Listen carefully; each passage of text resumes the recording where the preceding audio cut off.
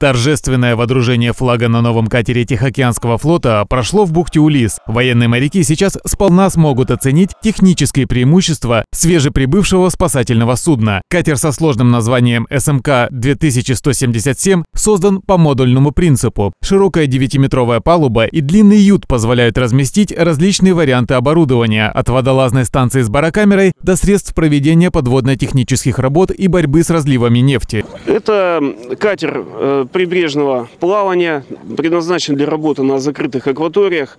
Э, порт Владивосток имеет достаточно большую водную гладь.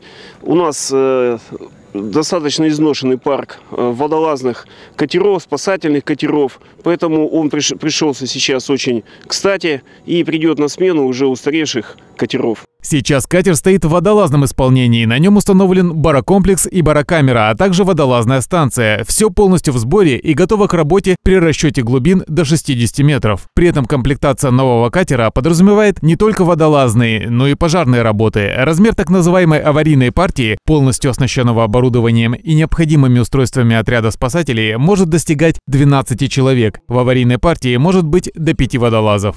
Существует также беспилотный управляемый подводный аппарат Марлин 350, производство России.